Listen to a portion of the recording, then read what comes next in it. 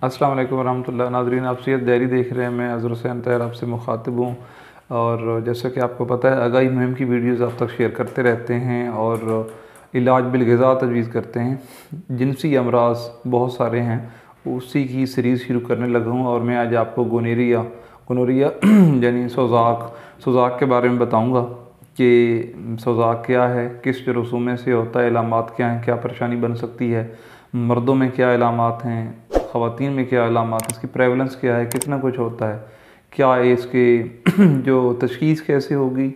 Allopathic तरीके इलाज इसमें क्या आपको ऑप्शन देता है इलाज के? और हर्बल मेडिसिन में आप इसका क्या इलाज कर सकते हैं और परहेज़ क्या है? ये सारी तफसीत आपको देंगे। बहुत तो इंपॉर्टेंट टॉपिक है। आप हमारे इस चैनल सी एस डायरी को लाजमी सब्सक्राइब कर लें और इस वीडियोज़ को आखिर तक सोने और दूसरों के साथ शेयर करें।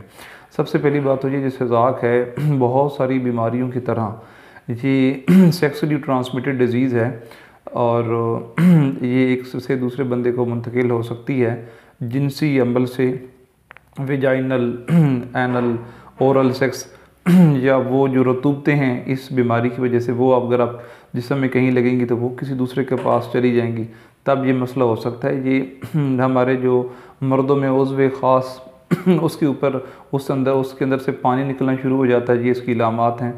और बाद में पी भी आती है, खून भी आता है। कोई करह बन सकता है, फोड़ा बन सकता है, परेशानी बन सकती है, फिर जलन उसमें हो सकती है, ख़ारिश हो सकती है और ये मामला फैल सकता है। ये जो बीमारी है, ये होती है एन गोनेरिया से, एक बैक्टीरियम है, उससे ये फैलती है और फिर इस अगर लंबी चलती जाए तो इन्फ्लेमेशन ख़वान में जैसे पहले एक इन्फ्लेमेटरी डिज़ीज़ हो गई और उनकी फिलोपियन ट्यूब्स हैं, मेल में टेस्टिस हैं, उनकी सोजिश हो सकती है। तो ये बांझपन का तक का मसला कर सकती है, नींदें हराम कर सकती है, खारिश कर सकती है, परेशान कर सकती है। और अपने रिप्रोडक्टिव आर्गन के बहुत सारे मसाइल का सबब बन सकती है। लेकिन इससे पहले का असूल याद रखें कि जितनी भी सेक्सुअली ट्रांसमिटेड डिज़ीज़ हैं, वो ज़रूरी नहीं कि वो रिप्रोडक्टिव ट्रैक्ट इन्फेक्शन ही हों। कि सारी की सारी सेक्सुअली ट्रांसमिटेड डिज़ीज़ ज़रूरी नहीं कि वो रिप्रोडक्टिव आर्गन के इन्फेक्शन हो या रिप्रोडक्टिव ट्रैक्ट इन्फेक्शन सारे के सारे सेक्सुअली ट्रांसमिटेड डिज़ीज़ हों, ऐसा ज़रूरी नहीं है। और ऐसा भी नहीं कि एक सेक्सुअली ट्रांसमिटेड डिज़ीज़ है तो वो सेक्स के अलावा नहीं फैल सकती, ऐसी बीमारियाँ भी हैं जो सेक्स के अलावा भी फैल सकती हैं। ये हमारा मेल डोमिनेंट माशरा है और हम एक इस्लामिक कल्चर में रहते हैं तो वो लोग, वो, वहाँ, वो एरिया वो माशरा जहाँ पर पाबंदी नहीं होती मेल टू मेल सेक्स और इस तरह के मामला की तो वहाँ पर इसकी प्रेवलेंस ज़्यादा है, लेकिन पाकिस्तान में भी है। और लोग इसका सुजाक और आतशिक का यानी गोनरिया और सेफिलस इसका जो इलाज करते थे, तिब के अंदाज से तो एलोपैथिक तरीके इलाज में इसके लिए इस्तेमाल होती हैं हमारे पास एंटीबायोटिक्स तो वो सारे ऑप्शन मैं आपको देने लगा हूँ। ये जो गोनेरिया ये माँ से बच्चे की तरफ़ भी जा सकता है। एक से दूसरे बंदे में मुंतकिल हो सकता है। एक तो ये कि सेक्स करने में मोहतात होना चाहिए और जो हमें रब के हुक्म है, उसी एक दीवार और उसी दायरे के अंदर है कि हमें अपने इन जज्बात की प्रैक्टिस करनी चाहिए। तो फिर इसे बचाव की सूरत ख्याल रहती है। अदरवाइज़ ये छोटी सी चीज़ शुरू होता है और आगे तक चला जाता है। ये जो गोनेरिया है, ये पहले इसके जो दर्जात हैं मतलब सोजिश होगा, वर्म होगा, फिर ज़ख़म हो जाएगा, फिर फोड़ा निकल जाएगा, फिर फोड़ा मध्यम होना शुरू हो जाएगा, खून आ जाएगा। इसकी लंबी कहानी लंबे इलामत हैं। तो आपको अगर इस तरह की कोई इलामत आती हैं तो अपने मॉलिज से रबता करें, तशखीस करवाएँ और एहतियात करें। अदरवाइज़ परेशानी होगी, आप जोड़ों में दर्द शुरू हो जाएगा, जिसमें ठंडक महसूस होगी इन्फेक्शन फैलेगा और आलमी दारा सेहत के मुताबिक 2020 में 82.4 बयासी मिलियन लोगों को ये बीमारी हुई है। और जब ये बीमारी होती है तो बाज़ तशखीस लेट होती है, इधर उधर भागते हैं।